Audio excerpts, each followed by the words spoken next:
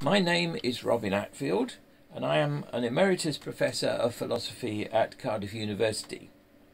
Thank you for inviting me, and congratulations to the Humanist International on the Reykjavik Declaration on the Climate Change Crisis, with its endorsement of, quote, the need for a global transition to new ways of using resources and new means of generating energy that will be socially and environmentally sustainable and with its call on governments and regional authorities for, quote, urgent action to reduce greenhouse gas emissions and make land use and resource extraction sustainable and to protect and conserve wild habitats.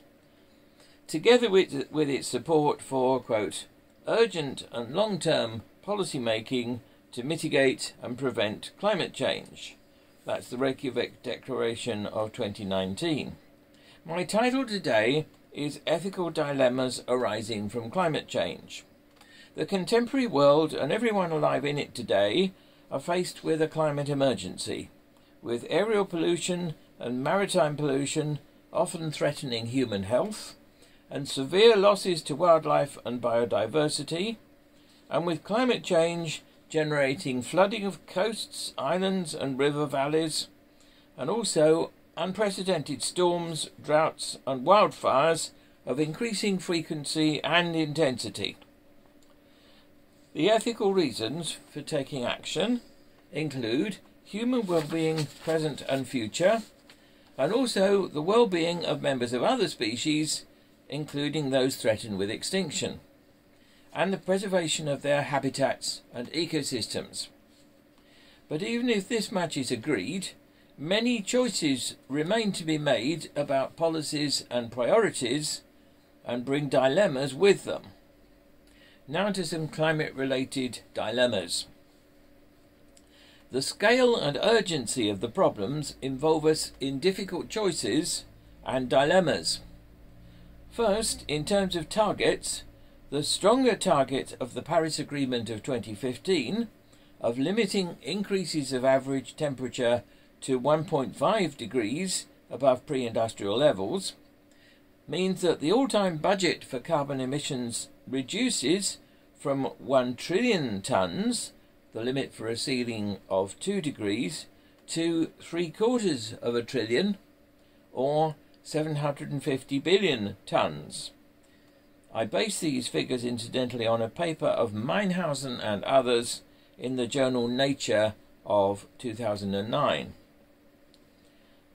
Since we, that is humanity, have emitted well over half of these amounts already, we need plans to become carbon neutral as soon as possible, and measures to be adopted without delay to make such plans feasible. The official British government plan to phase out the sale of petrol cars and hybrid cars by 2035 is promising, but may be too late and the amended suggestion from a minister to do this by 2032 is more promising. But these plans presuppose the prior installation of a comprehensive national system of electric charging points and an energy system sourced from renewable and nuclear sources. Much more concerted and government based action is needed if these presuppositions are to be made into realities. One further dilemma concerns whether nuclear sources of energy should be included. Here, my view is that since the waste products cannot be safely stored and plants cannot be safely decommissioned, they should not be included. But some people claim that the alternatives are at least as bad. What all this contributes to is the date by which the United Kingdom should become carbon neutral. The government plan is to do this by 2050. But that date is later than the date given by Meinshausen, by which humanity will have used up its carbon budget for attaining even the 2 degree limit, which is 2044. Thus, the option of 2050 is likely to set the wrong example for the Glasgow Conference of the Parties now delayed to November 2021, where national commitments need to be ratcheted up and where the hosts need to set an example. So a much earlier date should be possible, should a, a much earlier date should if possible be set, a date by which oil and gas boilers will have been replaced by electric ones, as well as cars becoming electric fueled, and if possible, aeroplanes as well.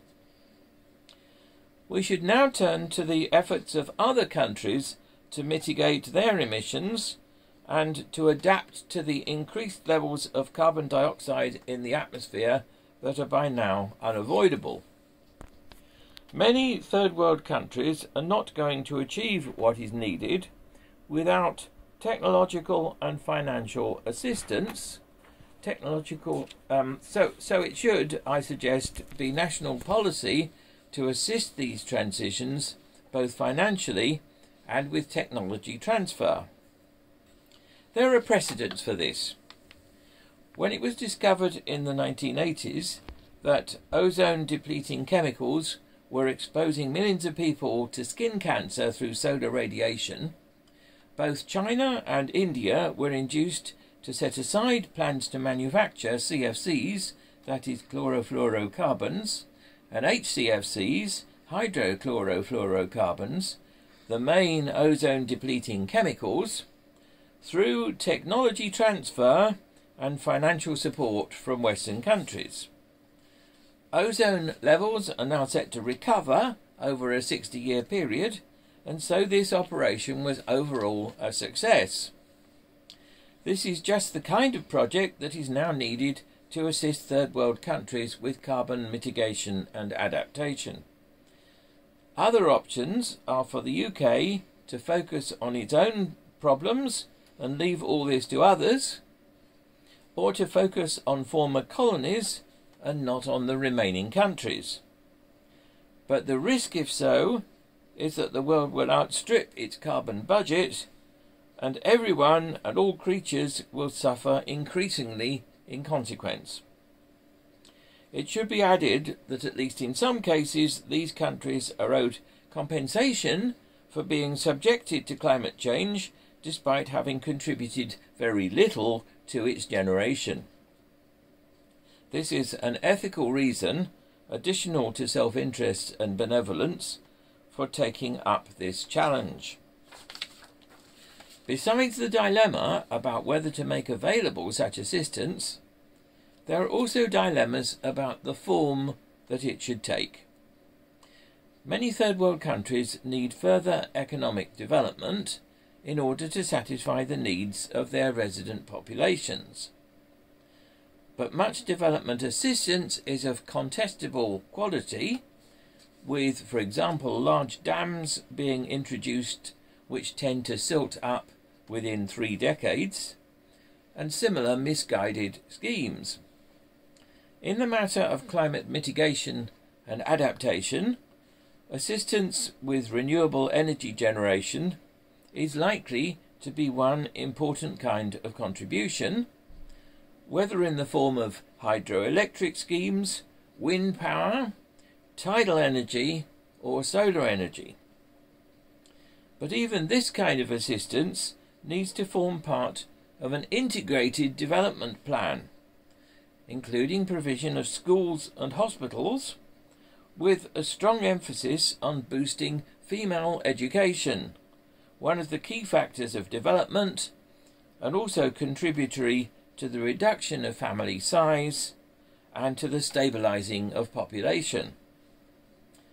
For it is important to remember that climate change is not the only problem and that policies to respond to it need to be integrated with those required to solve other ongoing problems such as poverty, malnutrition, and population increase.